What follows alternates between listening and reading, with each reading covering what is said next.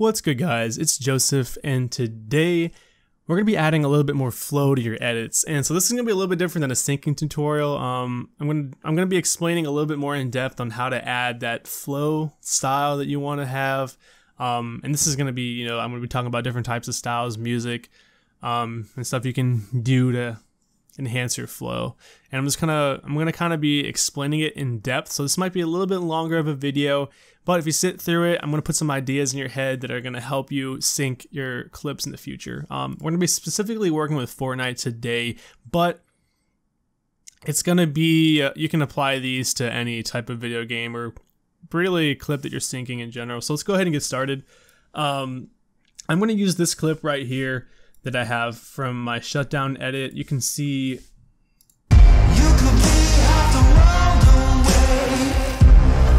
And that might have been a little loud. I'm going to put my volume down. Sorry if that hurts your ears. But let's go ahead and get started with this. So I'm just going to take a look at what's going on here. And if you see at this part of the shot, where it kind of looks like it's synced up to where he starts pulling out the gun and then he actually pulls it out. That was actually something unintentional that happened. Um, I didn't. I don't. As you can see, I don't have a sync point here where he kind of pulls out the gun and then he finishes it up. He's like, because there's a beat right here, and that's like almost basically perfectly when he pulls out the gun for the first time, and then he whips it over his shoulder. And so there's going to be little things like that that you'll notice as you're syncing, and it's okay to just leave them like that because even if it's unintentional, if it looks good, just leave it in your edit, you know. Um, and and sometimes you'll have like points that perfectly line up with your sync. And something that I'll I'll have you notice here is let's go ahead and go into the graph editor. If you look at my points leading up to the shot, um, you can kind of see that they're basically evenly spaced out for the most part. I don't have one here that's going like up here or, or it's like too much down. You want them to be more, more, more or less evenly spaced out, so it's more. It, it just flow. That's what makes it flow a little bit better because you don't have one part going like really quick and then the other part really slow. You kind of have it, you know, a little bit spaced out evenly. And we're gonna go. I'll show you exactly what I mean because I'm gonna go ahead and drag this clip, this same clip in here, and I'm just gonna resync it. I'm gonna go through and resync it and talk about what I'm doing. And this song is kind of like slow. It has slow beats, goes beat, beat, beat, beat. But there's one right here where it's like there's a little beat in the middle of these two, but I actually didn't sync to that one. Um, and you can make those decisions on your own because you can even go in and sync a clip and you can actually move these keyframes around to get a different type of look for your clip. Like as soon as you like make make an like a sync for a clip, you don't have to leave it how it is. You can go back in the graph editor, edit it however you want to. You can completely delete the whole thing and restart. You can move these around and have these sync to different parts. So you, I would encourage you to play around with that. There's a lot of flexibility. You can change these up a little bit, but I'm going to talk about that here in a second. I'm going to go ahead and hide this one and just, you know, slowly go through syncing this clip and tell you exactly what's going on with me and my thought process. So I'm going to go ahead and press Control Alt T because we're using time remap here. I'm going to go to the end of my clip, pressing the right square bracket key on my keyboard next to the P key. I'm going to delete this last one. So we're just literally we have just one long clip, you know? And this is actually a pretty long clip. It's not cut up or anything, it's raw file. So I'm gonna have to go find where his shot is, the last attempt where he hits a shot. And I just happen to know it's right here. And so I want the clip, you want to think like what do you want to happen when it's coming in? If you're gonna if you're thinking like you're thinking ahead of transitions and stuff, I want the clip to start where he's about to jump or he's about to, you know, get ready for anything. You want to think of sound effects and all that. Um, so I just basically started it when he's when he's like starting to look up here, and then so now that's it. I have nothing else. I ha- I have my beats here. I want to have a, a different movement on each beat, and I kind of want to have them lined up with each other. And sometimes that'll be a little hard to do that because um you don't have much to work with, and that's when you want to just make sure at the end of the day your points are more are even like this. You don't have one that's like really high or like really low. You want it to be more or less even, but you still want to have things synced up. So like for example, I'm going to go to my next one. I'm just going to keep dragging this number forward and it just so happens he shoots his rocket here. So I'm just going to have it sync to where he shoots the rocket. And then I'm going to go to my next point. I'm think I'm and I'm just looking for something that I want to sync to. So you, so a lot of people might want to do where he shoots this, but then if you look at the graph editor, you can kind of see it's not this one like the space between this is a lot longer than it is for here. And so I would, you know, move this forward, you know, move it up. Just move this time forward. And so now you can actually just sync it to when he's passing this rocket up or he's passing the rocket up or just when he's like mid-flight using the grappler. And if you look, it's not really quite similar because right here, and I can just, you know, move this down and now it's a little bit more even. And you, and the more you look at it, the more you'll understand because this doesn't like, there's no specific thing you have to sync to here. There's nothing really happening. It's just a certain point in time you want the video to speed up. And that's what you want to have in your mind because like, it doesn't always have to be a certain thing you want to sync to. It's just like what point you want the clip to like speed up. And so right there, I think is a good spot. It might be similar to what I have here. It's literally almost, it's, it's literally, it's literally exactly the same spot of what I figured here. And so I'm just going to keep going forward. The next thing that happens in the clip, he starts to take this gun out. So I'm going to have it to where he has the gun right here. I'm pretty sure I did the same thing here or almost the same. Um, it'll it'll be just it'll, it'll be different when I start making the points. When I start easy using the the points. Like you can even do this right here. I'm gonna do when you when you first see the gun, and then um. Let's see. I think this is where I have the shot. Yeah, this is where the shot is. And so you got this, shooting it. It's looking good. Okay, actually, so this is where this is where I have the beat in between here and here. And so actually what I could do that I didn't do in the original because this is where he first took the gun out. So I can have that keyframe there and I'm going to have this where he actually fully fully takes it over his shoulder. And so it's kind of like this. It'll jump sync to here, here, and there. Um, but for Fortnite, you don't want to have like a whole bunch of different like speed up and slowdowns because there is, you know, the game is not really made or, or it doesn't look good when you do that. And it actually lined up perfectly when I just had the, uh, you know, normal syncing for that because it just looked good anyways. So you don't there's no need to have that point there.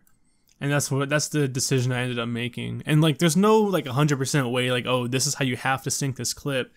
Just talking about Fortnite, you want to have just like, you know, simple simple sync points, you know? And when we go into Easy Easy's keyframes, I'll talk a little bit more about how or what different styles you want to use specifically for Fortnite and then what you can use for a different game or what you can try it out. And so I'm just going to go ahead and, and this is where the shot's going to be. Right here. That's where, you know, you get the muzzle flash of the shot. And then um, for Fortnite, I like to sync right as you see the, like, the very first time, very first part you see this uh, Victory Royale screen come up. And then I go where the Victory Royale number one is like fully animated almost. And then that's it. And that's how it kind of goes. And I'm just going to highlight all of these. I'm going to easy ease these keyframes. You can press F9, right click, keyframe assistant easy ease. And this is where we go into the graph editor. And you can kind of see these are more or less spaced out pretty evenly. It's not always going to be perfect, but the more you get it evenly spaced out, the better it's going to look. Um, obviously, yeah, you don't want to have one up really high or low. And that just depends on where in time that point is. For the shot, it's going to be a little bit different because you're going to, it's going to be a little bit more exaggerated. But let's go ahead and take a look. So for Fortnite in general, if you ever want to get a better look at your um, graph editor, you want to um, enable or disable this uh, auto zoom. So just click it, and then you press Control and you scroll down or up so you can see more, and you can zoom in with this little button right here, and you can really see what's going on, and you can go in between. You can go to each set of points by himself, and that's what I normally do. So I get to see exactly what I'm doing. But for Fortnite, you really only want to just drag this up just like ever so slightly and then drag this down ever so slightly because you only want it to be like barely, you know, you just want to have a little bit. If you're jump syncing, obviously you want to pull this up, pull this down, and at any point, if this middle section right here, if at any point this middle section is linear, or if this goes up and this goes down, that means your clip is going to actually play and it's going to go reverse. And that's not what you want unless you're doing it on purpose. Or if it's linear, which is like a straight line, you're only, it's going to, your clip's going to stutter. And you know, you see nothing's actually happening right here because it's a straight line. So you want to make sure it never gets linear, okay? And so now if you do that, it's kind of jump synced, and that's way too fast for Fortnite. You can get away with that on game first person shooters most of the time, like Call of Duty or Valorant. You want to sync like that depending on the song too. This is a kind of like a slow paced song. It has a lot of beats. But um it for Fortnite you just want to kind of barely have it sync, you know. And then I'm just gonna do that really, and that's how easy it is to sync Fortnite. You just barely put it up and down. You just do that for the whole thing. And if you look at this curve, I, I generally like to make this curve flow nicely into the next one. And that's part of like the flow aspect. Like in between each sync point, like if I have this one like this, you can kind of see the line, the curve doesn't generally go in the direction, or I mean, it, it, I guess you can kind of see it. It'd look better if I went like this. Um, but you can kind of see it's like it's more of like a smooth transition in between the next curve. Obviously, you don't have to make it look like that. Sometimes it looks good, sometimes it doesn't. You just want to play with it. You want to preview it a lot. But yeah, we're just going through and we're barely touching these sync points. Just barely put it up, down. Because when you put this up, this is the part where it's going to speed and it's going to be slow in between here. And then you're just going to do the same thing here. Maybe, maybe you want to exaggerate this a little bit more so you drag it up a little bit higher and make this a little bit more at the end because this is right before the shot. So you want it to be strong right there. He's going to whip that gun right over like really quick. And then this is the shot. So you want to press control and scroll a little bit down so you can see what's going on. And then you want to have a little bit more speed. And this is where you don't actually don't have to have the clip or this line right here match up because the shot you want it to jump really quick because you want it to have a lot of emphasis because this is a really hard hitting beat in the song. If you want to, you can drag this like this and it'll kind of ease into it just like that. And then you want to drag this a little bit down. So now you have the song and you know, it just depends on what you're looking for and obviously you're going to have to preview it. And then you can just you want to barely sync that. So for Fortnite specifically, you want to have your sync points like that. Say if you're doing first person shooter like COD or Valorant, you can drag these all the way up. You can experiment with that in Fortnite if you want to, um, but I, obviously, you know, whatever you think is best, you can go with. I'm just showing you different methods. And so now we have it synced up pretty much to the song. It might, it basically will look exactly the same as I had it. It might not be the same though, because I spent a lot of time, like say, say if we go into the graph editor for this, it might look similar. Yeah, you can kind of see it's basically the same. If we look at these curves, it's really similar to what I have or what I just made for you guys. But that's really it when you're talking about syncing because if you if you I always make my syncs first before I put any effects on or anything. I always make sure my sync is solid and then I go to add effects to enhance it. Cuz effects, like good effects, good clean effects actually enhance your flow cuz they make it and they make your beats pop out a little bit more like if you had a nice twitch or shake on this shot right here, it's just going to blend it all together. But having a nice sync is really what you want. And um, obviously, your flow will increase the more you go in and perfect your curves. Um, like, I, have never had a, a shot where I synced it the first time and I was happy with it. I'll go back, you know, like hundreds of times. Not hundred times might be a little bit exaggerating, but it literally feels like just like constantly just going back and forth, changing. Like even if I go in here and change like one tiny little movement, that can make all the difference. So you just want to, you know, change stuff up, preview it, and just you know look at it and really study it. Like preview just like each individual one, like not even the whole thing at once. Just like look at this part from like here to here, preview it and then just move to the next part and then you can watch it all over together and just really pay attention to those curves pay attention to what's going on. And um, if you have any you know uh, if you if you have any like stutters or anything Fortnite's a game where you can just enable frame blending right here. There's a box right here. Um, this is the frame blending symbol. You want to click it once you want to click it twice so now you have this little arrow with these boxes around it or these little points around it. And this is where you enable frame blending. And that's going to make your syncs a lot smoother. You're not going to get any warping really on Fortnite. There's a little bit right here, but that's going to be max. That's going to be like unnoticeable with motion blur. And so that's going to make your flow look a lot better because everything's going to be smoother with frame blending, obviously. Um, but I always sync without frame blending first just so I can get a base sync. And then once you add frame blending, it's going to take your flow to the next level.